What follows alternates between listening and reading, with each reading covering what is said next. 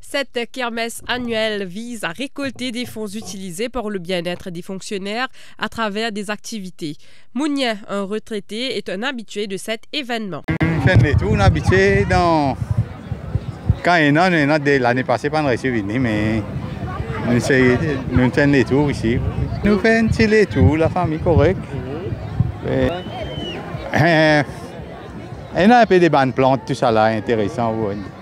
Chaque année, vous venez Oui, on fait une devoir venir quand même. Avant, mon retraité, moi. Ouais. L'équipe d'Axel, Communications Officer du bureau du Premier ministre, à la charge de la vente de l'huile de coco en provenance d'Agalega. Nous, nous l'équipe euh, PMO, Rodrigue et Ils et aujourd'hui, nous avons l'équipe très dynamique qui est là présent pour vous. Et surtout, nous pouvons vendre des produits d'Agalega. Nous avons de l'huile de coco vierge hein, d'Agalega. Nous avons gâteau coco à Galega. Donc, lui, il est de 200 roupies. Gâteau coco 25 roupies. Extra bon.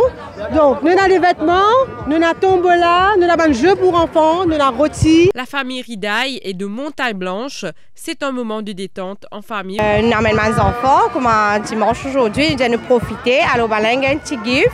Bien happy, bien happy bébé? Oui. Happy? Oui. Chaque année, nous venons, voilà. Oui. Monsieur, monsieur, bien. Explique-nous comment ça va passer. Pour nous, c'est un, un événement extraordinaire.